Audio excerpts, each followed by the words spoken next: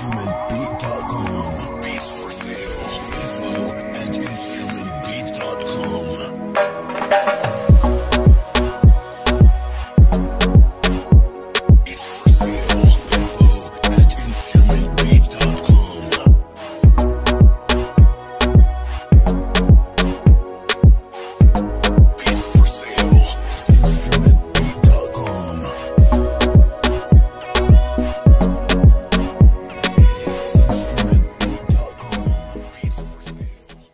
Ya está aquí. La película quizás más ambiciosa de la década y que será un cierre a las 22 películas que conforman al MCU. Lo que suceda de aquí en adelante será algo totalmente nuevo, siendo este arco iniciado y cerrado por el personaje pináculo de todo esto.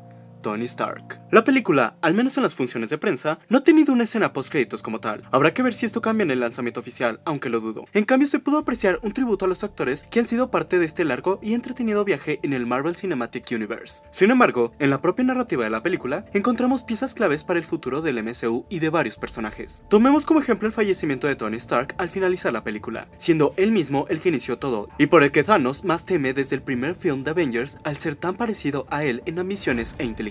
Es cierto que el fallecimiento de Stark tendrá repercusiones. La mayoría de sucesos del MCU eran indirectamente o culpa suya o culpa de su padre. ¿Esto significará un estancamiento en la narrativa del MCU? En lo absoluto, cabe recordar que Tony, aunque es un personaje central en muchos eventos de Marvel Comics, no es tampoco el único que ha desembocado en grandes repercusiones. Tomen a Reed Richards, por ejemplo, quien de hecho tiene un papel fundamental en catástrofes multiversales, aunque dudo bastante que Kevin Feige quiera sustituir de golpe el papel de Stark en el MCU, por lo que lo más probable es que la siguiente fase una consecuencia de lo acontecido en Endgame, así como una pequeña introducción a los nuevos héroes y líderes. Aunque el arco de Stark en su funeral con su hija no fue lo único que se cerró, sus tres pilares del MCU con Steve y Thor de igual manera lo hicieron, siendo el de Thor de una manera más abierta comparado con el de Steve Rogers, que quizá no vaya a ser del agrado de todo el mundo. Ignorando que siento que tiene poco sentido argumental el cómo manejan las líneas del tiempo en Endgame, creo que el que Steve volviera con quien fue arrebatado fue un gran cierre para el personaje. Algunos quizás se frustren por el hecho de que le dejó su legado a Wilson en lugar de Bucky, pero vamos, Bucky no es ni de cerca la versión de las historietas donde es digno de usar el manto del capitán. Sin embargo, Wilson ya lo ha sido en los cómics de igual manera, así como ser el más parecido a lo que Steve Rogers representa. Por otro lado, tenemos arcos abiertos como la huida de Gamora, que sin lugar a dudas suena a una trama potencial para hilar para la tercera entrega de Guardianes de la Galaxia, que está más que confirmada con el regreso de James Gunn. Hay personajes que igual fallecieron sin regresar al final, y que ya tienen películas o series confirmadas. Tal es el caso como Vision o Black Widow. La película de Black Widow está confirmada ambientada en los 2000, mientras que habrá que ver qué sucede con Vision y si probablemente esté ambientada en el pasado de igual manera, ya que como recordemos, su razón de existir fue la gema de la mente en un arco que ya nunca existió en la cronología. Pero, ¿qué sigue ahora? Sin anuncios de cómo será la fase 4, más que una que otra película como Spider-Man o The Eternals, el futuro del MCU apunta para avanzar a una nueva narración muy parecida a la época de Marvel Now en los cómics, con los héroes recuperándose de un enorme suceso y catástrofe, y la introducción de Wilson como Capitán América, o quizás incluso el uso de los Young Avengers. Pero si tuviera que apostar, me iría que la serie y películas de la fase 4 serán el epílogo y preludio a la introducción de nuevas sagas, así como el hecho de que los Cuatro Fantásticos y X-Men ya se encuentran en sus filas, y con ellos una enorme mitología de dónde agarrar vuelo.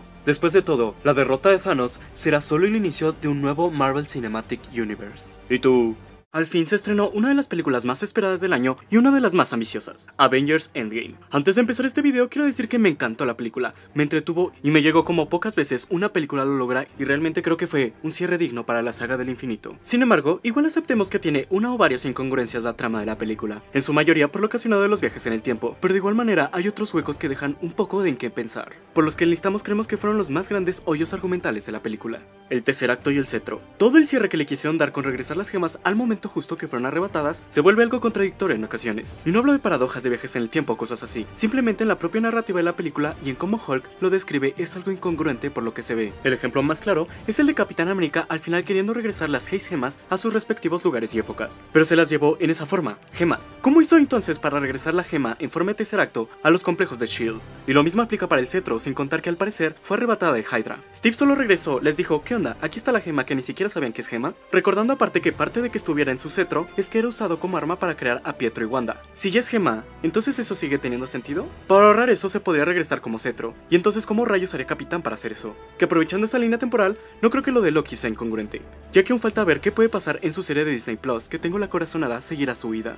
Nebula y el ejército de Thanos. Cuando Nebula del pasado traiciona a los Vengadores y llama a Thanos del pasado al presente, ¿no se supone que solo podía hacerse usando las partículas PIM? Además de que nos aclaran muchas veces de que eran de uso personal, y Thanos trae prácticamente a toda su Y puedes decirme que incluso Thanos tenía científicos, y pudo entonces hacer sus propias películas, a lo cual respondo, ni siquiera Tony Stark sabía hacer partículas PIM. Por algo Hank y Anthony siempre chocaron mucho al ser dos genios en diferentes ramas. Y ahora me dices que Thanos resultó más listo que Hank y Tony, algo que ni siquiera se ha atisbado en su narrativa. ¿Cómo rayos trajeron a toda la armada Chitauri y a una nave planetaria? Incluso Clint se lleva la nave de Star-Lord achicada, y Thanos la trae como si nada. Gema del alma. Ok, Compremos que Steve pudo regresar el cetro y el tercer acto a su origen de alguna forma. Pero, ¿y la gema del alma? Regresó a Balrog para toparse con Red Skull, su archienemigo por cierto. Además de que los rusos después de Infinity War dijeron que Red Skull al haber entregado la gema del alma es libre de su responsabilidad. Así que ahora me harás igual suponer que Red Skull, después de estar una eternidad encerrado y ser libre se esperará, así sea un instante, a que Steve llegue. Y es cuando Steve daría la gema del alma, que si seguimos la lógica de un alma por un alma, debería poder regresar a alguien entonces. Pero dado que eso ya suena muy rebuscado, me quedo solamente con el hecho de que es algo incongruente toda la proeza de dejar la gema del alma en Balrog. La falta de sentido en que Steve se quedara en el pasado. Y por último, y el que más me causó comezón, es el final de Steve Rogers. No me malinterpreten, amé su cierre. Creo que es lo más justo para el personaje. El problema de su narrativa son dos cosas. Primero, Bruce dice que afectar el pasado no cambia el presente. Y aún así, Steve al quedarse en el pasado, cambia el presente donde Hulk y Falcon lo encuentran. Más aún, el segundo problema es que hay de dos. O Steve Rogers regresó antes de congelarse para quedarse con Peggy, lo cual supondría que existirían dos Steve Rogers en ese momento cortejando a Peggy, o la otra,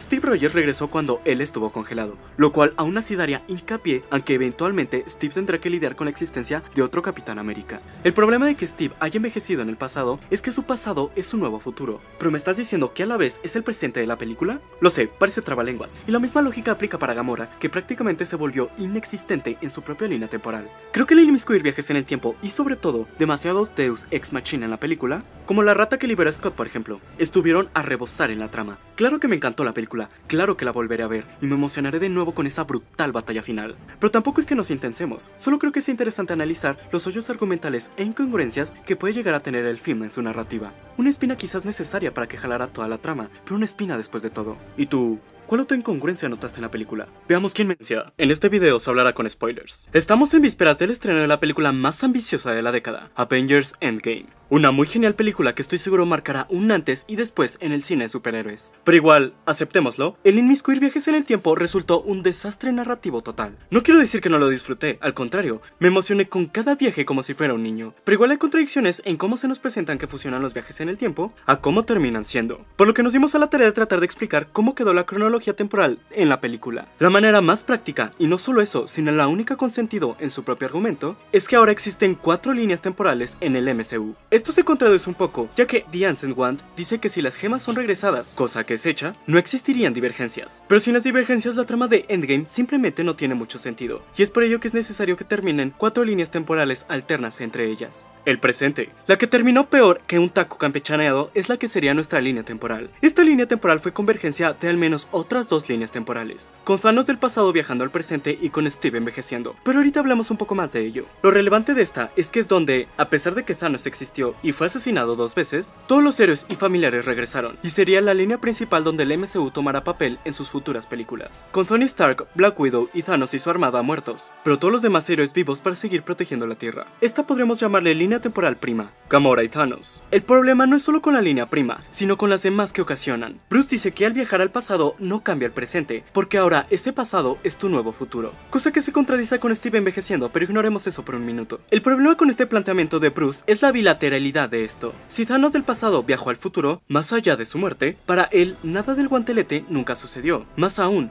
nunca juntó las seis gemas y ocasionó la decimación por la que luchan en el presente de la línea prima. Esto entraría un poco con la lógica de volver a futuro, y dado que les gusta recordarnos que no es el caso, entonces la única manera en que esto funcione es que la línea temporal de donde Thanos viaja, es decir 2014, divergió de la línea prima. ¿Esto qué quiere decir? Que al morir en el presente Thanos y Nebula, estos dejaron una línea temporal donde ellos simplemente ya no están, al igual que Gamora que huyó en la línea prima. Por lo que existe entonces una línea alterna donde la decimación nunca ocurrió, igual donde Star-Lord nunca conocería a Gamora. Loki. La segunda línea alterna que se crea es por el error de Tony Stark al soltar el tercer acto y huir entonces Loki con él. Esto ocurriendo en 2012, por lo que Steve y Tony tienen que viajar más atrás todavía, y de hecho al final de la película ni les importa lo acontecido de Loki al parecer, y solo regresan la gema de los 70s. La trama de Loki suena que será explorada en su serie de Disney Plus, pero mientras tanto, esto igual crea una divergencia para la narrativa que ya conocíamos, donde Loki queda a la deriva y siendo el dios de la mentira con el tercer acto en su poder, y sin estar a merced de Thanos o los Asgardianos. Será una interesante línea argumental que seguir para el personaje a futuro. Capitán América.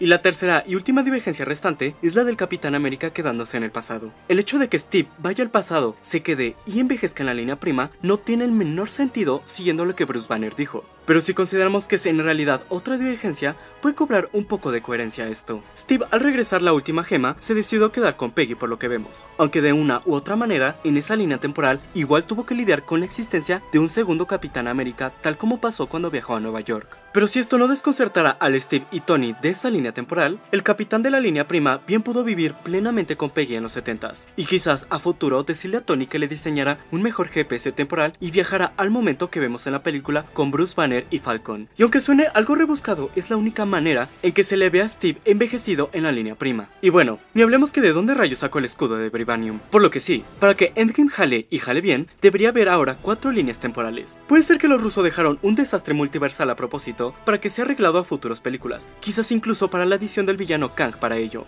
O simplemente no les importó porque vamos, la película se disfruta bastante sin ponerte a pensar en ello. ¿Y tú? ¿Qué crees que pasó entonces al final de Endgame? Te leemos en los comentarios. Esperamos te haya agradado este breve video. No olvides darle like, activar la campanita y suscribirte.